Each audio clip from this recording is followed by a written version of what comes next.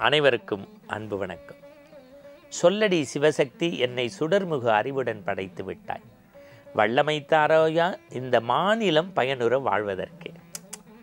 ஒரு கடவுளிடத்தில் வேண்டுகின்ற போது கூட இந்த மண்ணும் மக்களும் நன்றாக இருக்க வேண்டும் என்று எட்டயபுரத்தில் பிறந்த பொட்டன் நிலத்து கவிஞன் பாரதி கடவுள் பராசக்தி இடத்தில் வேண்டுகின்ற போது கூட இந்த சொசைட்டி பற்றி இந்த மக்கள் பற்றி இந்த மாநிலம் பற்றி விண்ணப்பம் வைத்திருக்கிறார் என்றால் மனித மனங்கள் எப்படி மலர வேண்டும்?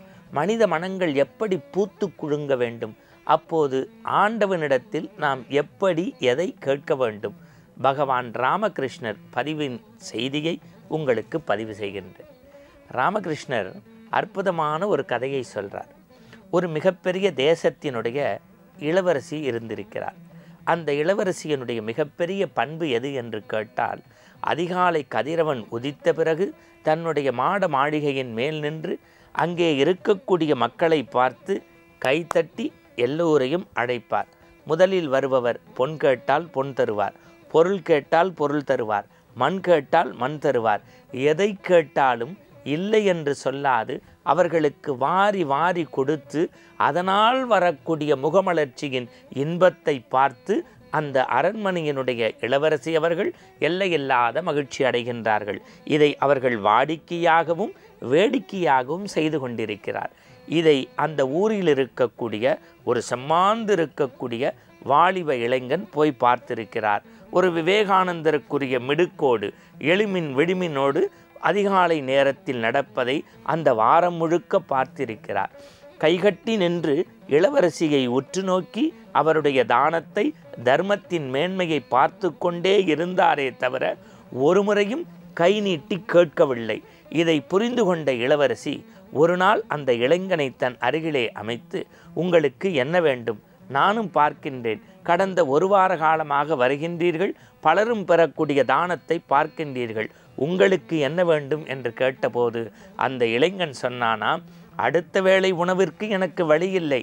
இருந்தாலும் என் உள்ளமும் இல்லமும் பூரிப்பில் இருக்கிறது. காரணம் என் தேசத்து இளவரசி யார் வந்து கேட்டாலும் இல்லை என்று சொல்லாது கொடுக்கக்கூடிய கொடையை பற்றியிருக்கின்றீர்கள் உங்களுடைய கம்பீரத்தை உங்களுடைய கொடையின் சிறப்பை நான் வாழ்த்துகின்றேன் என்று சொன்னபோது இளவரசி புன்முறுவலோடு உங்களுக்கு நூறு ஏக்கர் நிலம் தரட்டுமான்னாராம். வேண்டாங்க அப்படின்னாராம்.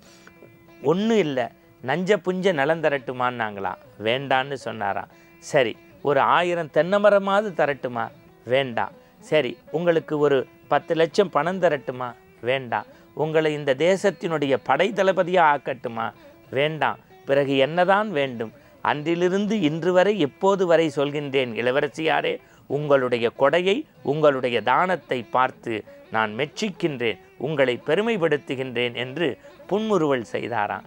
உடனே இளவரசி சொன்னாராம் ஒரு நிமிடம் அமைதியாக இருங்கள் என்று சொல்லிவிட்டு உள்ளே சென்று ஒரு மலர் மாலையை எடுத்து கொண்டு வந்து ஊர் மகாஜனங்களே கூடியிருக்கக்கூடிய அந்த அர்த்தானி மண்டபத்தில் மக்களே மகாஜனங்களே நாளெல்லாம் வந்து என்னிடத்தில் பொன்னை பொருளை மண்ணை கேட்டீர்கள்.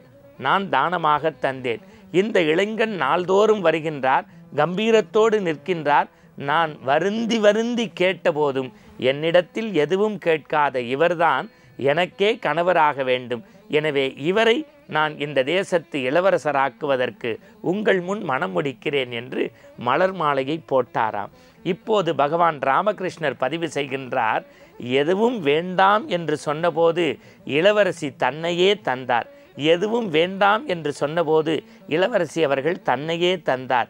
சாதாரண இளவரசியே ஒரு இளைஞனுக்கு தன்னை தருகின்ற போது இந்த மண்ணின் புவனேஸ்வரி இந்த மக்களையெல்லாம் காக்கக்கூடிய ஜெகன்மாதாவாக இருக்கக்கூடிய பராசக்தி இடத்தில் நாள்தோறும் சென்று நீங்கள் அற்பமாக அது வேண்டும் இது வேண்டும் என்று உப்பு புளி முளகையும் உப்பு புளி முளகையும் வீட்டையும் வசதியையும் வாய்ப்பையும் தயவு செய்து கேட்டு விடாதீர்கள் எனக்கு என்ன வேண்டுமோ நீ கொடு என்று அந்த பராசக்தியின் பாதத்தை சிக்கன படித்து கொள்ளுங்கள்.